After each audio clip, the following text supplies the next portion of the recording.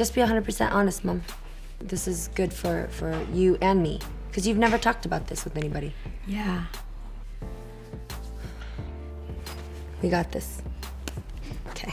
We've talked before that we had a major falling out when I was about 16 till I was 24. I've never actually talked about that incident with my mom since then. We're talking for the first time of how mm-hmm. that affected us, and we hope that this can help you connect more with your mom, grow better and closer with your family, and help you heal however you need to inside.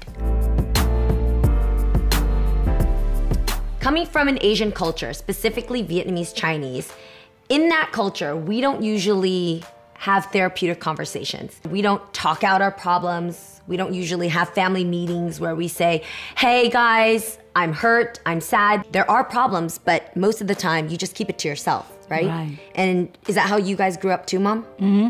Embarrassed to say it.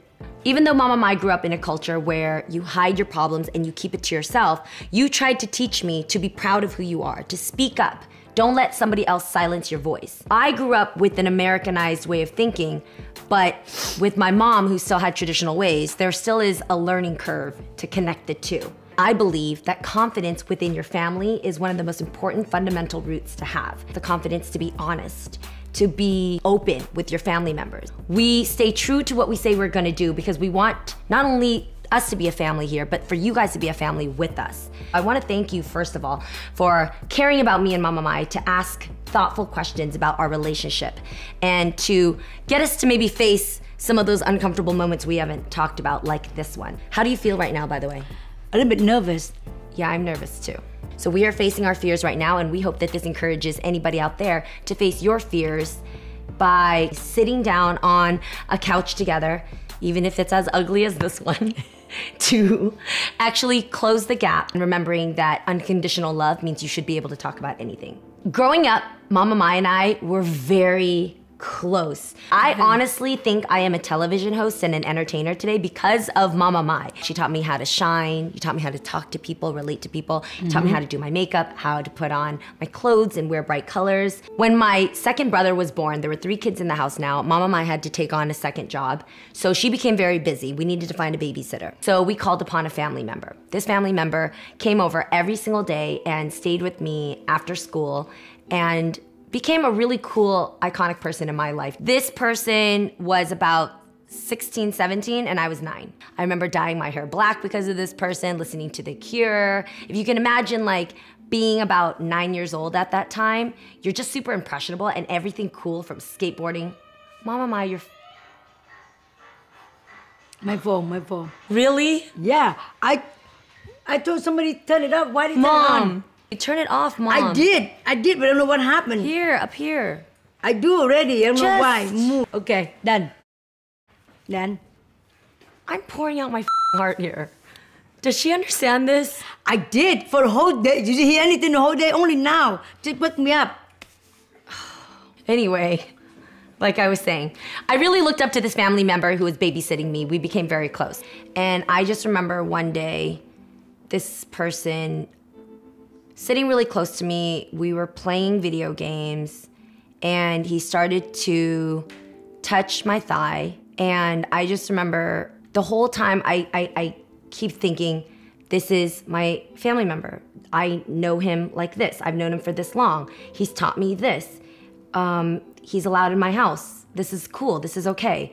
And I also was just stunned because I've never been intimately touched like that. So I couldn't tell if it was wrong. I just knew I was noticing it. I was almost narrating it in my head, but I also just kept playing the video games. Every day, the touching continued a little bit more. Him taking off some of my clothes. We used to have the bathroom in your room. I remember him pulling me into that shower, and it was the first time I've ever seen a grown man and what he looked like. Still nine years old. I remember him telling me to touch him in certain ways. When I picture it, I just see flashes of things. I remember seeing the color of my clothes. I remember seeing blue jeans, and then my blue um, underwear, my green shirt that my mom bought for me. And this happened every day for a few weeks, and then it turned into months. And I remember one year going by. I didn't want to say anything because I was afraid. Honestly, because I knew you and dad were struggling with money and I knew that we had to have a babysitter, so I was afraid of getting him in trouble because then who would watch over us? And you were always really tired because you had two jobs and you were stressed out. And I never thought to come and bring more issues to you. He said certain things that made me afraid of making you angry at me. He would say things like, which is like, my, your mom's gonna hit you if you talk about the family. Or, không ai tin lắm, which is like, nobody's gonna believe you. People think little girls like you are crazy.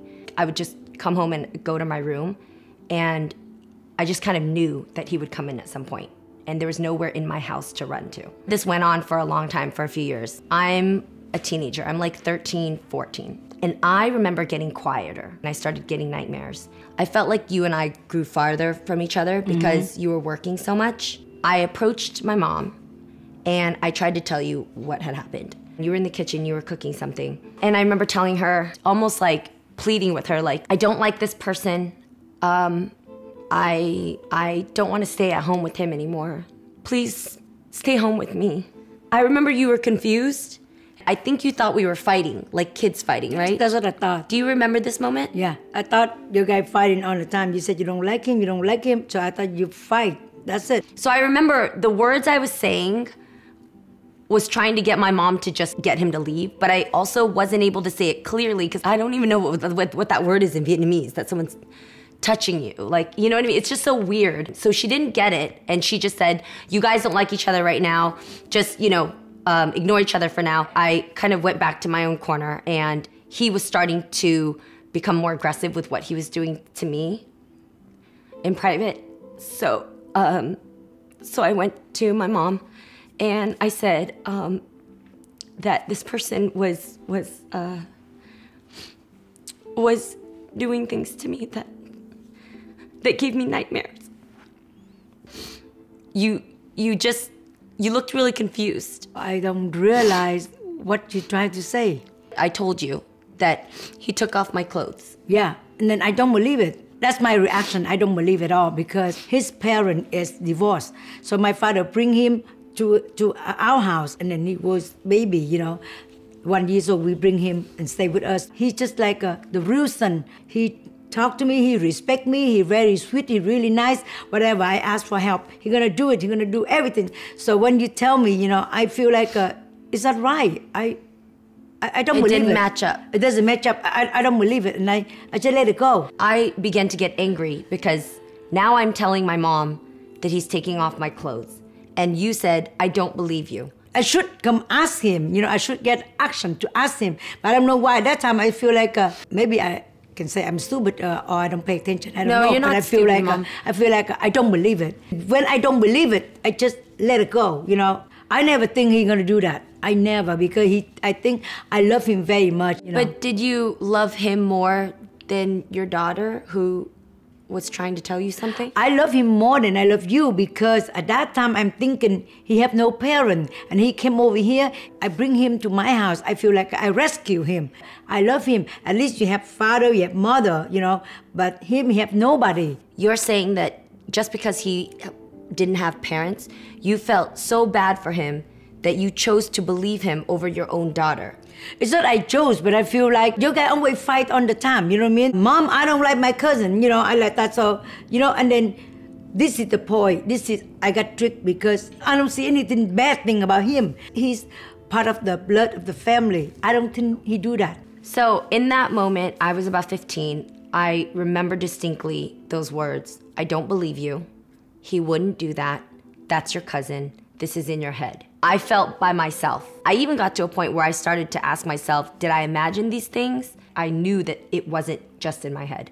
And that's when I started to separate from you, mom, and I decided at 16 I ran away from home. So I packed up my things and I left the house and I moved to San Francisco. I left the house and started to pursue my career in makeup, in styling, and later TV, and pretty much have been independent since 16. I spent nine years, almost 10 years, never celebrating Mother's Day, never celebrating Christmases with my family. All of the traditions we always did, it stopped completely. My mom was mad at me for running away, because she felt that that was disrespectful. And I hated you at the time because At that time, I feel like uh, you want to run away, you want to learn heart rate, go ahead, run. I don't need that kind of daughter. That's how I feel. for anybody out there who has distance from your family member or maybe even a broken connection with your mom, you feel it. So at that time, my mom was doing her own thing and I had to find a way to reconnect with her, but I hadn't talked to her in years. I finally got to contacting where you were at that moment and I came over and I remember I knocked on the door and as soon as the door opened, we went at it. The ugly cry, the ugly scream, the scene from Love and Hip Hop, like everything you could think of. And I said it one more time. You never believed me when I needed you to. You listened and you said, What do you mean? What are you talking about? And I said, I told you about this. I told you that this person, this family member, has been touching me and has been doing things to me every single day for years. And you never helped me. All of a sudden, you stopped and you said, Tell me exactly what he did. And I told you everything. I don't know why I really listened to her single detail, detail, everything, and I'm really shocked because I cannot believe it. It's This is a real thing. It's happened to my family, make me um, guilty and make me feel so bad and make me cannot sleep and I want to come over to his house. I want to punch him. I want to put him in jail. You know what I mean? I cannot believe it. That's happened to my daughter, and then she ran away because of that reason. Because I don't believe her. I have to say I'm really sorry, Con. I'm really sorry because uh, I don't know what happened. I don't know why I, I love that boy and I take care like a real son and then do that to you. I cannot believe it. That's what I guess that's mom. I, I obviously forgive you now because you're like my best friend, of course, and I'm so happy that we reconnected. But I'll I'll never forget why why you didn't believe me. And even like right now when you say that you loved him more than me because you felt bad for him, I just don't understand. That's how I feel. I feel sorry for him, you know. I don't know what to do. But uh, the only thing I can say, I'm really sorry. After that, I cannot sleep. For the whole night, I cannot sleep. In the morning, I came over to his house. I, I asked him. Whose house? Um, what is it? Him. You went to his house? Yes, I came to his house. I asked him. I said him, why you do that to my daughter? What did you do? Can you tell me what's going on? He's shocked. And then he say, I didn't do anything. Who told you? I say, my daughter told me. You better tell me right now before I call the police. You went to his house later on? Yes, I went to his house later When on. you when I told you what happened, you mean as an adult? yes, I almost hit him. How come you never told me this? No, because I'm so mad. Because I, I'm, I'm so mad. I just do without you. And I came over and I almost slapped him and, and he begging me. He begging me, please don't say anything. Please don't say anything. He told me, forgive him. He too young. He doesn't know what he doing. And then he know he's stupid. And he say, would you please tell Jeannie, can I buy the present for her? Oh my God. No, no, that's why he asked me, can I buy the present for her? So I can talk, I can apologize. I tried to tell him, my daughter hates the people like that. And then she write a book, she's talking about you, and I cannot stop my daughter because, you know, I feel bad, I feel embarrassed. What did I, I do to her? How come I don't on her side? I'll be on your side. Right now, if I can kill you, you know, you're the first one on my list. I told him like that.